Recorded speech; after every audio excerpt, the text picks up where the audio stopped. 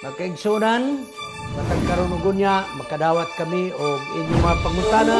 Happy Vespers meeting Timog na kalibot. Atong tulmanon oras sa atong Padaran ko silang issue na walay kalabutan sa kanila. Magdisidir na ganita nga mo serbisyo sa atong Ginoo. Ang yawa, mangita o pamagin, mo-offer na mura-mura po ug iya sa Diyos.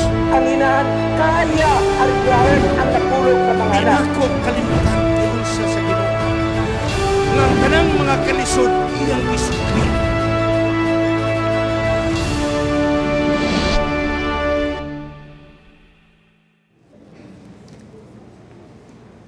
Happy Sabat sa tanan mga kaigsunan.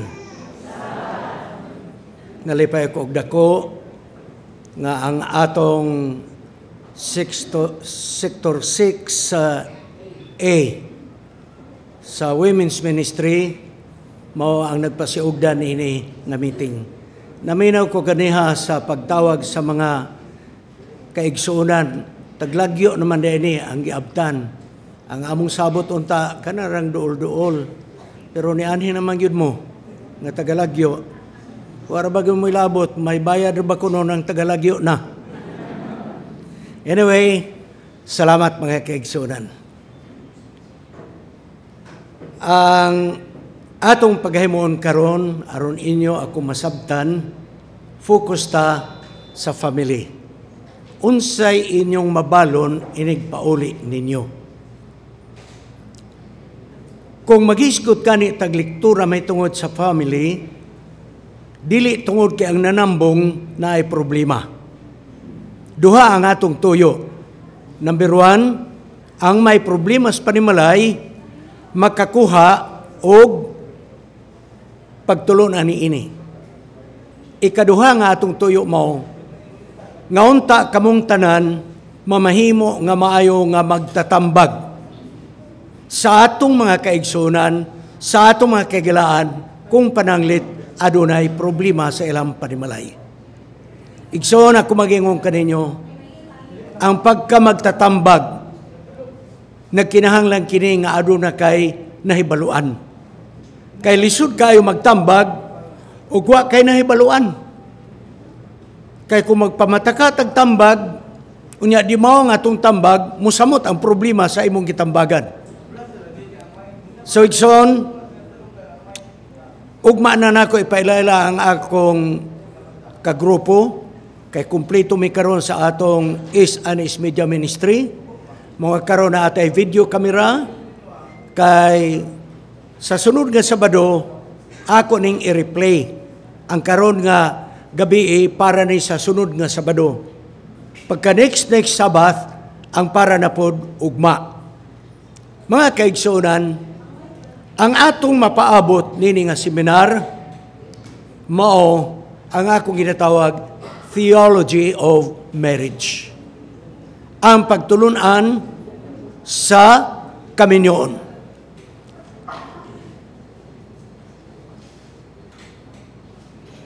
Any problem? Ano sa'yo problem? Aw, wak. Nawak ko maghilabot, ana. Hindi ko manghilabot kay base magkasabaan ta. Okay. Abi man ako, gituyo to. Theology of marriage. But na ko pasabot nga ang atong pagtuon karon gikan sa barang kasulatan unsa ang konsepto may tungod sa kaminyoon. Igsoon ako magpasiuna kaninyo nga major na kung gagikuha sa atong seminary sa AYAS, Adventist International Advanced Studies, Institute for Advanced Studies, igsoon, ang akong gikuha, dili marriage counseling. Ang akong major, systematic theology. Nga systematic theology, combination ka na sa theology, language, Hebrew and Greek, ug unya, logic and philosophy. Pero nga naman, nga dili mo ay akong giseminar, ang pagpalawom-lawom nato sa doktrina sa atong simbahan. Simple ang akong nadiskubrihan. Mo nga dinhi ko nag-focus sa panimalay. Kay kung pananglit mga kaigsunan, bright ta sa doktrina. Magseminar ta sa doktrina. Hilabihan nato kamaayo sa mga teksto.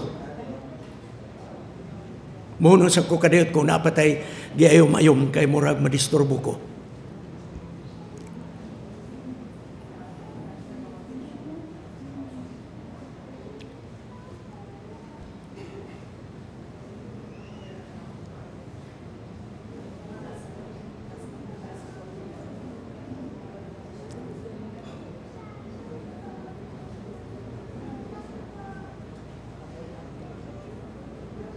Mga gina, basta gani masira na gani ang arka.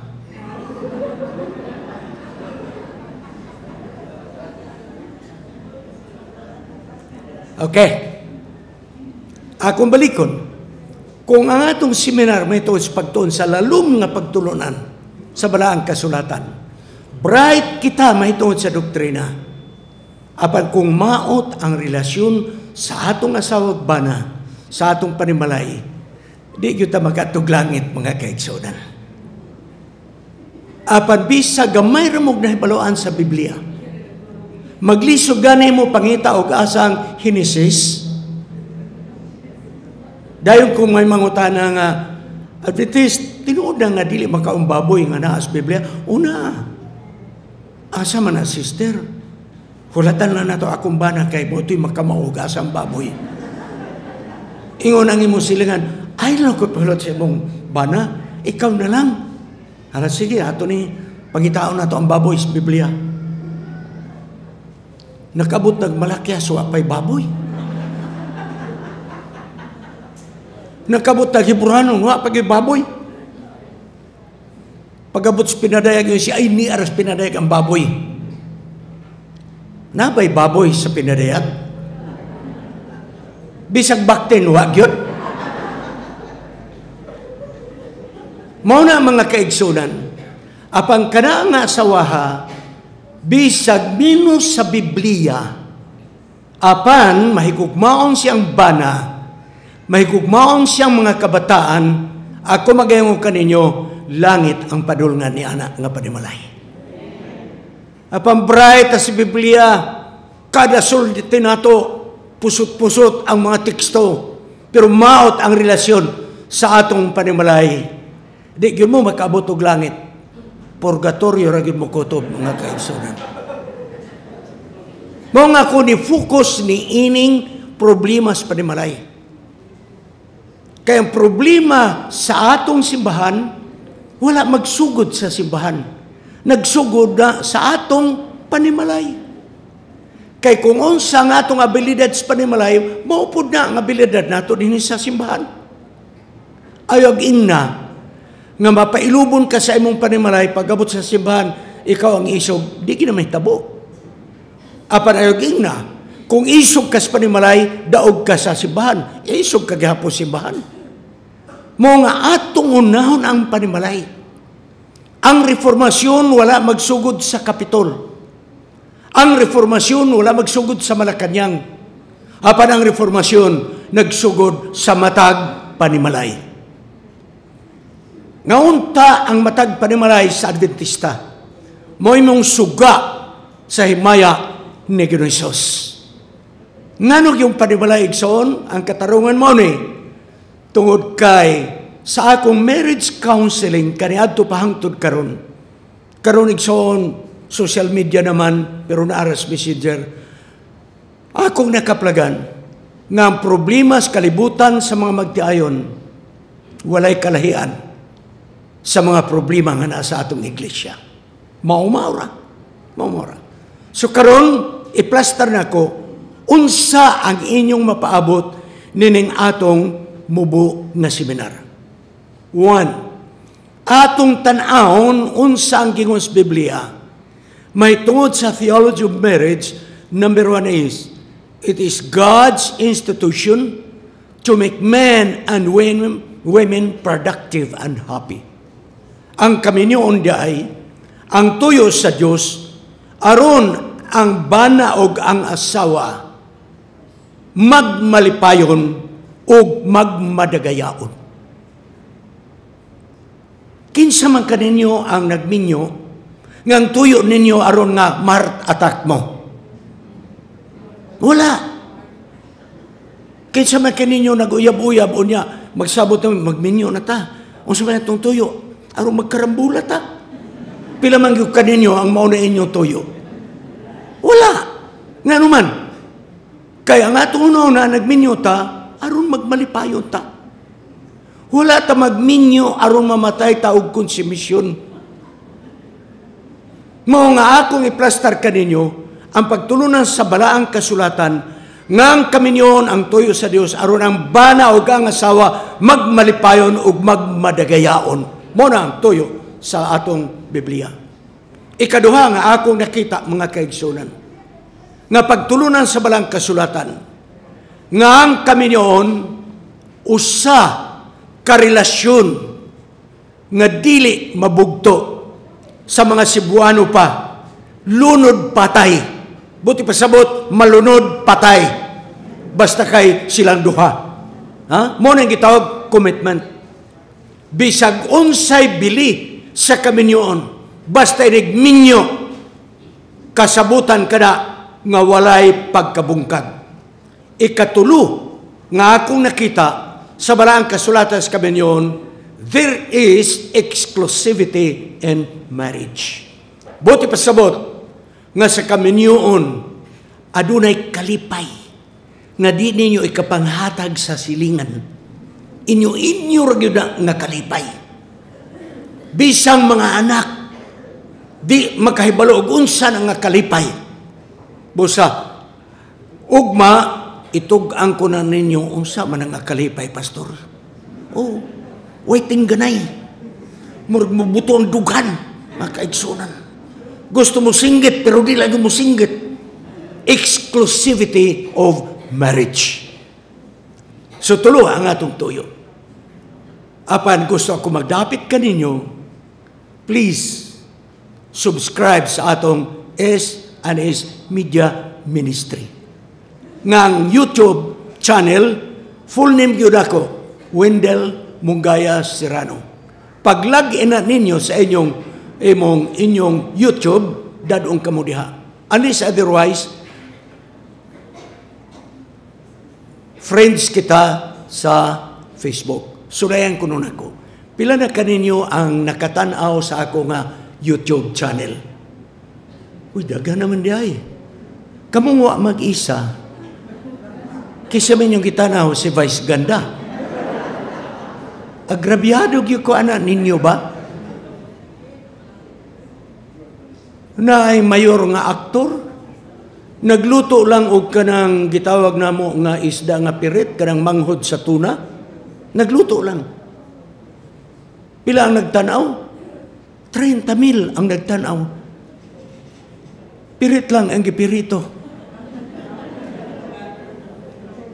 Na babae nga dalaga, gwapa man pud hinuon, manglaba, dayon gawalwal ang t-shirt nga arang luaga, wala gabra, gabi-kad-bikad padagsa, 30 milyones ang followers.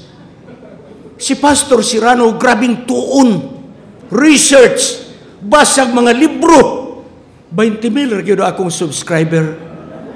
Kamo nga wa pa mag-subscribe, undang na mo kang Vice Ganda. Dere na mo ni Pastor Serrano. Ha? Kay So mga kaigsunan, unsa may makuha ninyo sa atong YouTube channel? Kada Merkules sa adlaw, naa diha ang mga pangutana sa tibok nga kalibutan nga mga Bisaya. Question and answer. Church leadership, problemas panimalay, problemas manag-uyab. Napaka ni problema igsoon nga nisangko nako, Pastor, tabangi mi unsa ang paghusay ning utlanan sa among yuta. Ano apil-apil man ko ninyo ang utlanan sa yuta? Unsa ba ko geodetic engineer? Ha? Mga problema simbahan sa disiplina dinhin na ninyo makuha mga kaigsunan. Merkules, pagka-Bernes mga kaigsunan, ang inyong makuha mao na ang atong leksyon. Mga teachers sa atong Sabbath School, kini mo mayo ninyong review aron pagkasabado sangkap mo sa inyong leksyon. Kada Sabado na atay bagong wali mga kaigsunan. Hinoon gasimba naman ta karon, okay lang. Pero pag uli ninyo sa balay, please, tanawan ninyo ang atong divine service mga kaigsunan. O karon, di kumalimot sa pag-introduce sa libro nga atong gisulat. Ang title ni ini is The Anthill Preacher.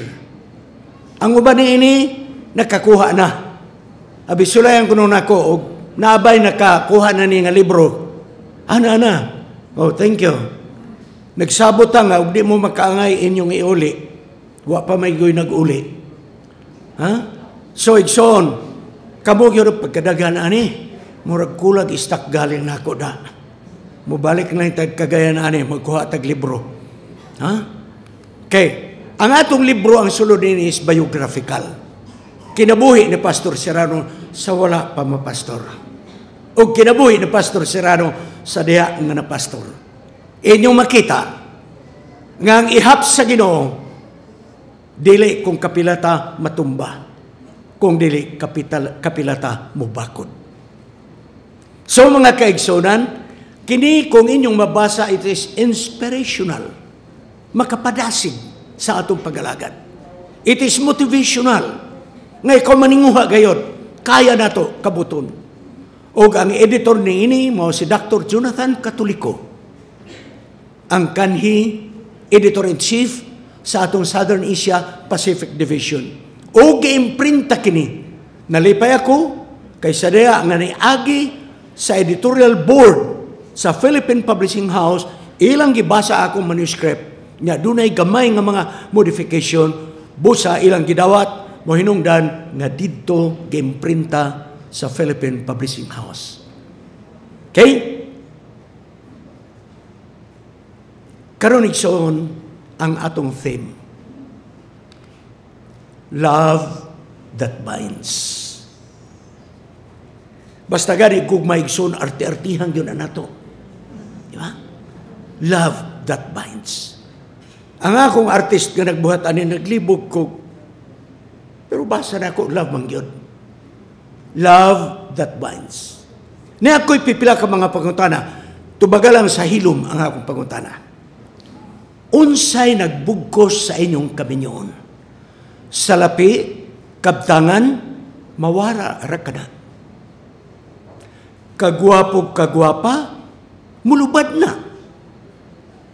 Kay walay tao nga nagkamalam nga nagkagwapo. Tuuhi lang yun ko ninyo, kay malam na kuya, mga kauturan. Di na ko ganamo tanaw sa amin. Kay di na ni mo, akong dagway na itong 18 anyos pa ko. Ako igsoon, karong Disimbre maloy ang ginoo, 77 na akong panuigon. Dalay ko ng ginoo. Dalay ko ng ginoo.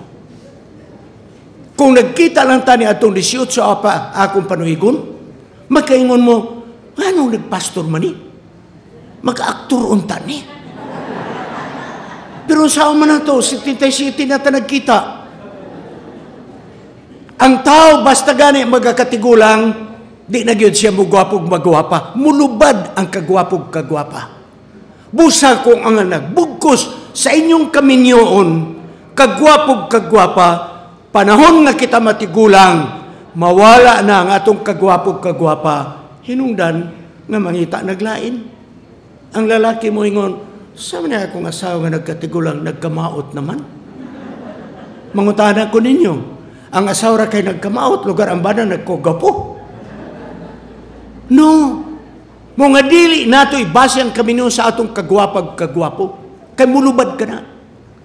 Apan kung ang gugma mo ay nagbugko sa atong panimalay, bisa na ay problema nga mudasmag sa atong panimalay, dili kini mabungkag, dili magkawatak-watak, mula hutay hangtod sa katapusan sa atong kinabuhi kung gugma ang nagbuko sa atong panimalay. Ang unang tupiko nga akong dadon kaninyo karumo, marital happiness is achievable. Ang kalipay sa kaminyoon, imong makabot. Imong makabot. Mga karon, kung pananglit naglingkod kamo sa akong atubangan, nga dunay problema sa inyong kaminyon, gubot ang inyong relasyon, pangutana ang inyong kaugalingon. Nganong nalipay man ang uban, nganong kami wala man, unsa kay kulang ini. Mga karong nga gabi ang atong topiko mao, ako mong padasigan, bisag unsay problema sa relasyon sa inyong panimalay, still, God is telling you, marital happiness is achievable. Makabot na. Kay dili ni para sa pag-eskwela, nga bright mo ray summa cum laude. Ang dili bright removal, makapasa removal. Igsuon, ang kaminyon pantay-pantay ni. Ato ning makabot, mga kaigsunan. Busa ato kining hatagag pagkatagad ang una tong topiko, nga ang kaminyon usa ka institusyon nga gimugna sa Dios alang sa kalipay sa babae ug sa lalaki nga sila magmadagayaon. Ang Diyos kanunay mo respeto sa atong kagawasan sa pagpili. Naa ka na to ang pagpili. Samtang ang kaminyoon gimugna sa Diyos sa paghatag og kalipay sa asawag bana apan ang pagpili imong kagustuhan. Ikaw ra ang magpili nini. Ang kinabuhi og kalipay panalangin gikan kini sa Dios. Ang kamatayon og dautan og ang kasamok sa panimalay gikan kini sa kaaway sa atong Dios nga mao ang yawa. Ang iya sa Dios kalipay. Ang iya sa Dios kinabuhi. Ang iya sa Dios kadagaya panalangin apan ang yawa iya ang kamatayon iya ang pagkadautan, iya ang kasamok sa panimalay. Tanaw Raigson, simple lang kayo. Away. Balihan ninyo spelling. Di ba yawa na mga kaigsunan? Away. Oh. Y-A-W-A. Away. Walay lain malipay na ang yawa. Apan ang Diyos kanunay nagarespeto sa atong pagpili kung sa atong pagpili. Apan sa matag pagpili nato nay nagakatugbang nga presyo ni anang atong pagpili. Matag pribilehiyo nga gihatag sa Dios kanato. Aduna siya gihatag nga corresponding responsibility. Maayo man gud mo dawat pribilehiyo pero di ta dawat og responsibilidad. Ato nin privilege nga kita nakasawag na kabana. Apan taliwalas kami niyon, dunay responsibility nga gihatag sa Dios kanato. Aniya ang pagpili. Naging ng Diyos, Deuteronomy 30 sa akong atubangan karon ana ang kinabuhi ug maayo kamatayon ug dautan kung inyong tumanon ang akong mga kasuguan, kamo mabuhi og magmalipayon. Apan kung ay inyong kasing-kasing, inyong iliko sa dili pagpaminaw kanako. Ugon niya, kamo magsimba sa mga Diyos-Diyos.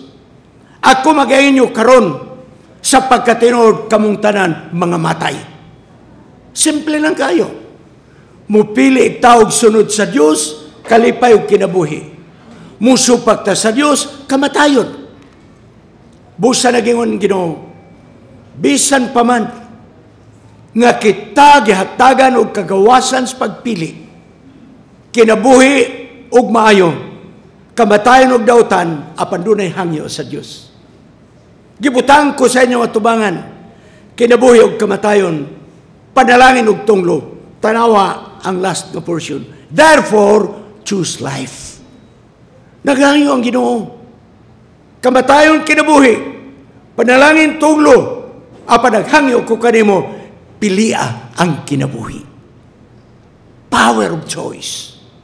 Busa kining paghimo sa kaminyon nga malipayon, iya tong gipili nga sila magbalipayon. Apan kung gubot ang inyong panimalay, Dili sayop sa barangay captain, sayop sa tagbalay. sayop sa tagbalay. Ang pagpili ato. Sa kaminyon mga kaigsunan, ang kalipay is a matter of choice. I repeat, sa kaminyon, ang kalipay is a matter of choice. Kay ang kalipay sa kaminyon, dili na chiki nga manuktok sa imong panimalay. Hello, kidapawan sentral ni ana ang kalipay ako ang